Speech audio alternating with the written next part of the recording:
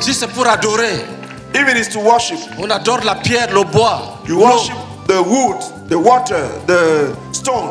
Mais quand on est coincé, But when you are blocked que les, les méchants esprits te troublent toute la nuit, and the wicked spirit troubles you in the night, le célibat et les marées de nuit, celibacy and the spirit husband, la pauvreté poverty et les maladies, and tu diseases, dis Seigneur, sauve-moi. you say, Oh Lord, save me.